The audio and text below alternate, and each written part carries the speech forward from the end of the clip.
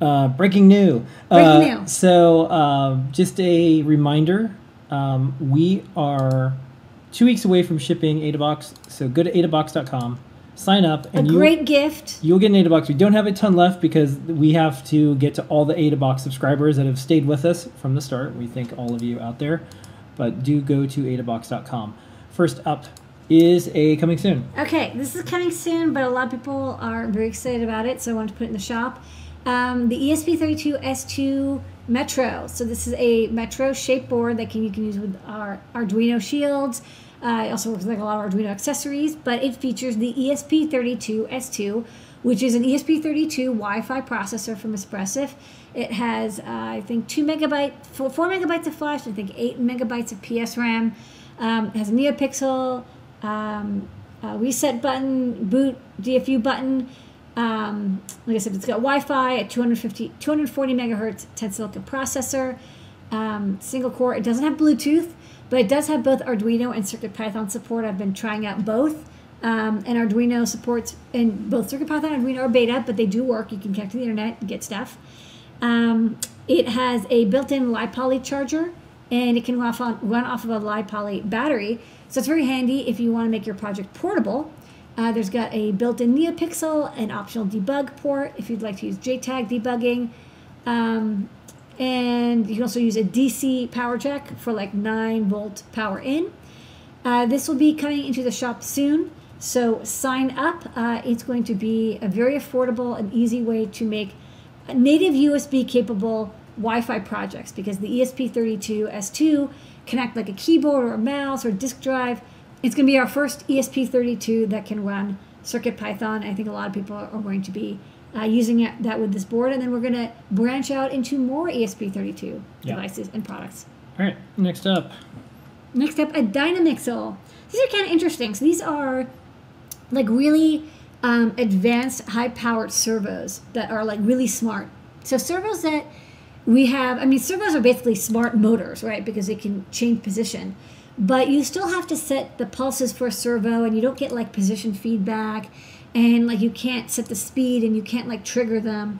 So these are like advanced motors that are used in a lot of like humanoid robots. Like when you see stuff like people make their own little, like little dog, you know, like running robots or walking robots, they tend to use Dynamixels. They're very powerful, um, both like physically.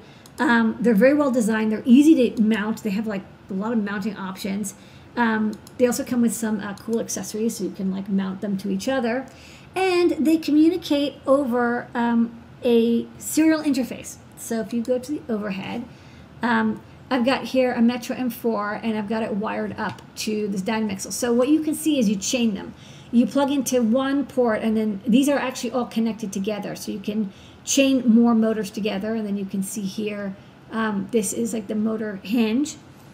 For the motor power, you give it, um, they don't want off of 5 volts. These really want like 9 to 12 volts. They want quite a bit of power. They're powerful motors. Again, they're used for um, like walking robotics. Um, so you need ground, power, and signal. If you only have one motor, um, they're addressable. Uh, if you have only one motor, um, you can use a single um, serial pin, the TX pin, and you send it commands. If you have multiple motors, you do have to address them, and so in that case, you need to have like a Dynamixel shield.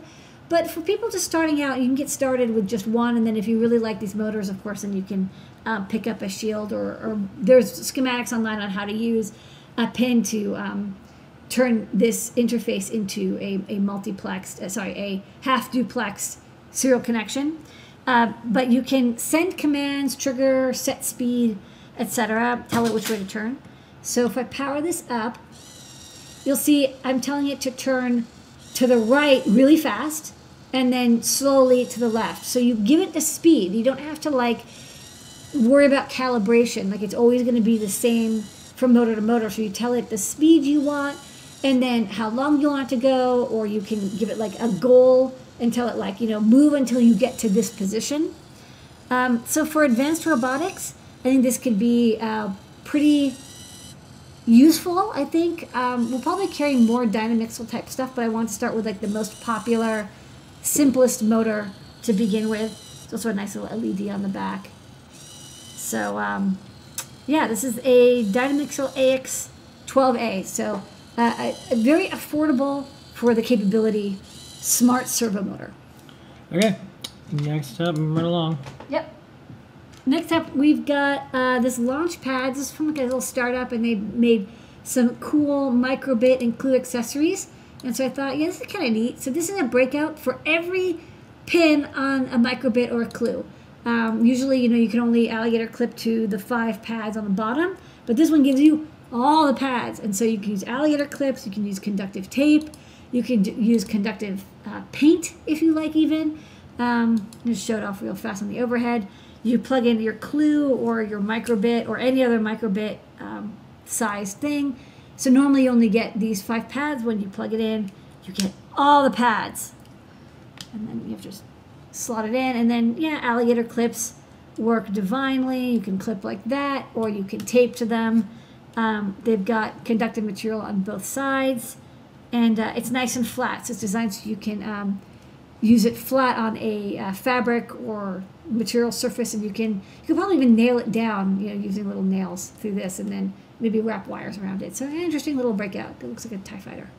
All right, next up, 2020's Hollis Holiday gift is Uh, Spade connects. a box of Spade Connects. Spade connects. All the kids want Okay. these this year. Yes. Get spade. All right. So these are we actually use these in our um, like arcade buttons and stuff. That's what their most popular usage or micro switches. Um, you'll see these.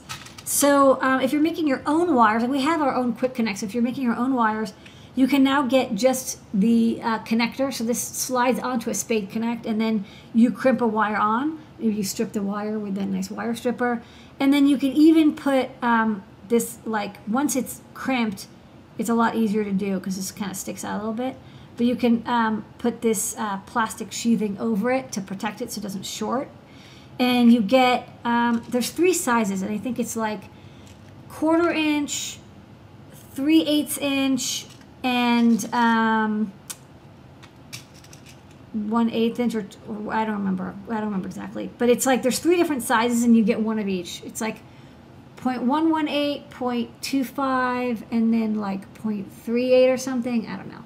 Um, so there's three sizes, so you can see. Oh wait, don't remember. You got small, medium, and large, and these are like these are the most popular Spade Connect. I actually haven't seen really anything else.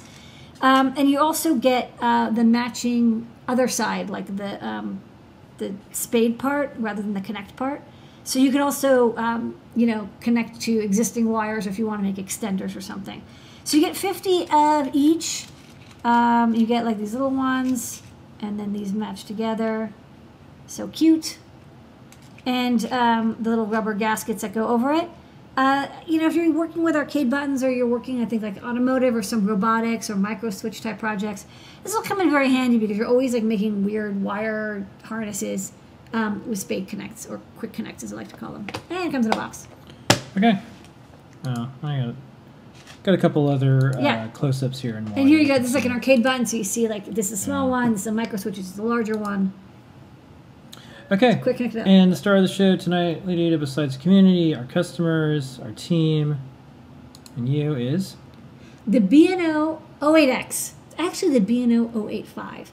Uh, and it's an interesting story. We actually started this with a BNO 080, and then we discovered uh, that there's actually an upgrade version to this chip, the 085.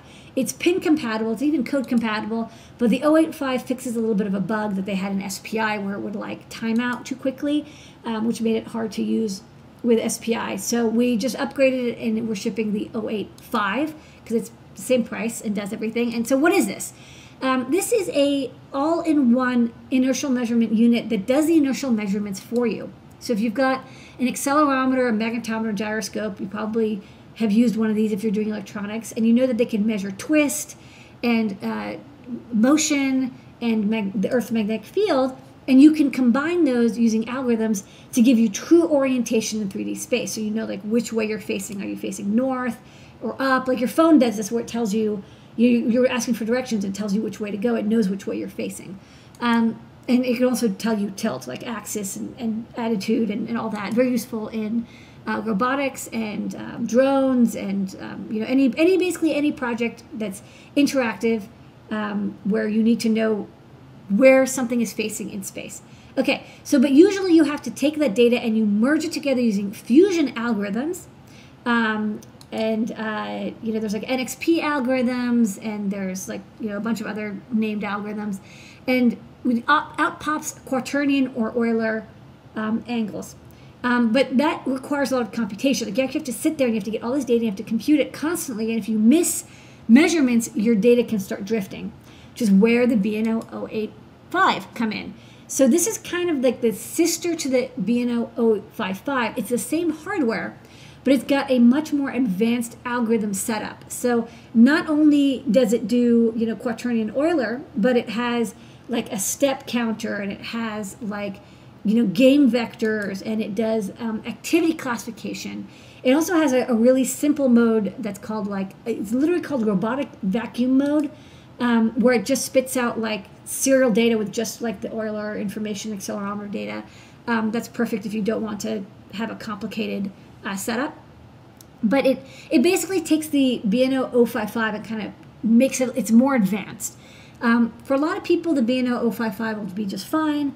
But if you want, you know, um, UR interface, if you want SPI interface, if you want things like activity classification or step classification, uh, I it seemed to me like the BNO 085 was a little bit more stable. It had less drift than the 055.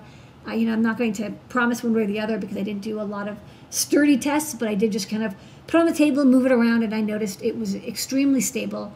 Um, and we've got CircuitPython and Arduino code for this nice 9DOF. It comes on a STEMMA QT board. You can use I squared C. You can use um, SPI on Arduino. We don't have it working in Python because uh, it's not fast enough. Um, you can also use UART if you'd like. Um, and you can also put it in this, again, this simple uh, RVC robotic vacuum mode that is um, you know, the, it's very light on code and complexity, but you only get the uh, quaternion report. And, uh, you know, if you're doing orientation based projects, you know, nothing's going to beat this. It's going to be so simple for you. You can even use, you know, an Arduino Uno or something or a QT Py. You don't have to worry about the calculations of the math. It's all done for you and just spits out that data. Um, so pick one up. It comes uh, ready to go in our STEMMA QT format for easy use and uh, you know, I think we'll see a lot of people do this with you know drone robots, DIY drones, DIY uh, robotics projects, and a lot of interactive art projects where um, something reacts to motion or activity, and the person just wants to get the project up and running. That's new products.